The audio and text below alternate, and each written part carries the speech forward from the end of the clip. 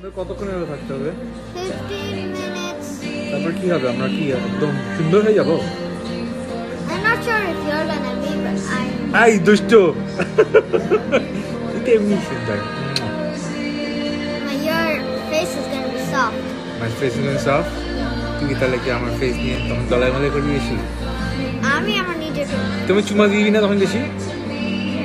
হুম eh?